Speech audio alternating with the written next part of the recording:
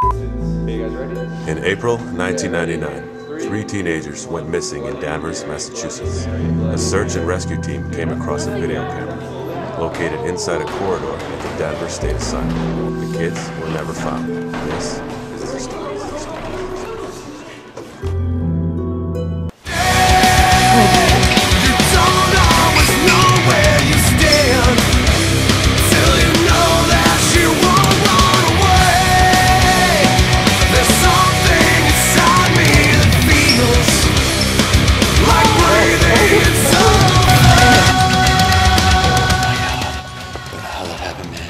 Danny's dead.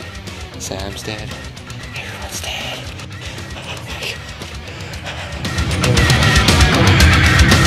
Oh. like breathing.